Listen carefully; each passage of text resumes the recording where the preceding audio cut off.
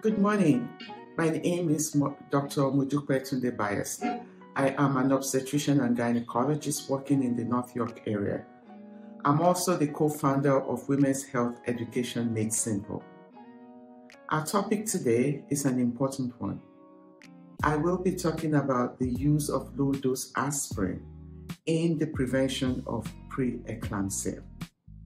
Preeclampsia is a complication of pregnancy where you have a high blood pressure and it affects the whole organ in your body, most especially your kidneys and your liver. It also affects your baby in different ways. Preeclampsia is common in 3 to 4% of all pregnancies. Taking low dose aspirin will reduce your risk of preeclampsia by 25%, which is a lot.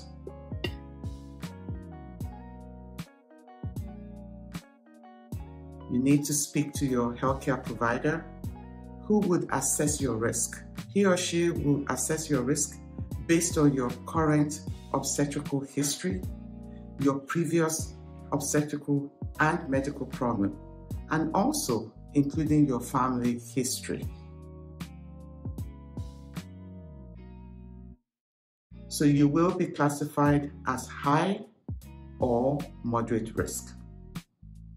If you're considered high risk with one factor, you will be eligible to receiving low dose aspirin. The high risk factor includes having had a history of preeclampsia in your previous pregnancy, you have diabetes, you suffer from hypertension, or you have some kidney diseases and other things as listed above. Moderate risk. You need two of those or more to be able to qualify for low dose aspirin.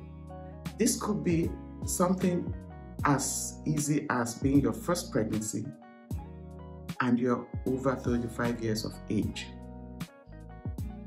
or you've had a baby that was small in your previous pregnancy, and there's a list of this that your healthcare provider can use. The low dose aspirin your, could be up to two tablets. Some health providers will give one tablet. So 81 milligrams or 160 milligrams a day. You would use this until the end of your pregnancy. The best time, ideally, is before you are 16 weeks mm-hmm. pregnant and up to 28 weeks of your pregnancy.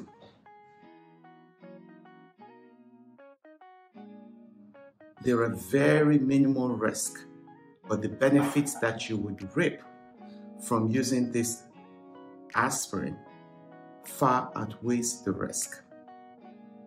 Be sure to speak to your healthcare provider to guide you in using low dose aspirin. It will reduce your risk of developing preeclampsia significantly. Thank you. Please look forward to more series from Women's Education Made Simple. Thank you.